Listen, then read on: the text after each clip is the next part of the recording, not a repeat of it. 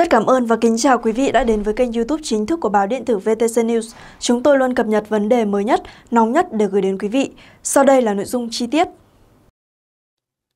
Vào chiều mùng 2 tháng 5, tại kỳ họp bất thường, Quốc hội đã miễn nhiệm chức Chủ tịch Quốc hội đối với ông Vương Đình Huệ.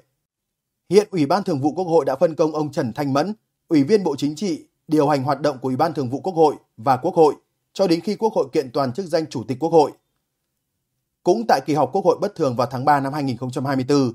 Quốc hội đã miễn nhiệm chức danh Chủ tịch nước với ông Võ Văn Thưởng. Sau đó, Ủy ban Thường vụ Quốc hội đã giao bà Võ Thị Ánh Xuân, Ủy viên Trung ương Đảng, giữ quyền Chủ tịch nước cho đến khi Quốc hội kiện toàn chức danh Chủ tịch nước. Như vậy hiện nay, trong các vị trí lãnh đạo chủ chốt, có hai vị trí cần phải được kiện toàn trong thời gian tới.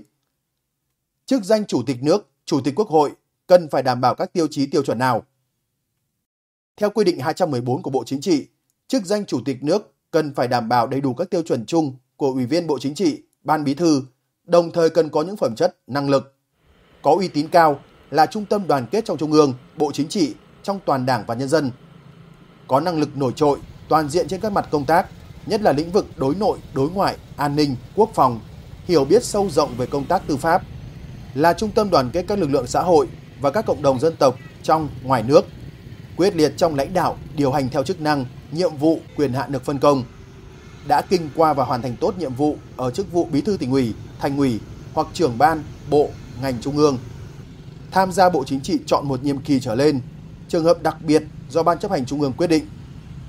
Còn chức danh Chủ tịch Quốc hội phải bảo đảm đầy đủ các tiêu chuẩn chung của Ủy viên Bộ Chính trị, Ban Bí thư, đồng thời cần có những phẩm chất, năng lực, có uy tín cao, là trung tâm đoàn kết trong Trung ương, Bộ Chính trị, trong toàn Đảng, trong Quốc hội và nhân dân. Quyết liệt trong lãnh đạo, điều hành theo chức năng, nhiệm vụ, quyền hạn được phân công. Có năng lực nổi trội, toàn diện trong các lĩnh vực công tác, nhất là trong việc hoạch định chiến lược phát triển kinh tế, xã hội, quốc phòng, an ninh và trong việc chỉ đạo thể chế hóa đường lối, chủ trương, nghị quyết của Đảng về xây dựng pháp luật, giám sát thực thi pháp luật và quyết định những vấn đề quan trọng của đất nước. Bảo đảm dân chủ, công bằng, công khai, minh bạch, đại diện cho ý chí, nguyện vọng của các tầng lớp nhân dân và bảo đảm mọi quyền lực nhà nước thuộc về nhân dân. Hiểu biết sâu sắc hệ thống pháp luật của Việt Nam, pháp luật và thông lệ quốc tế,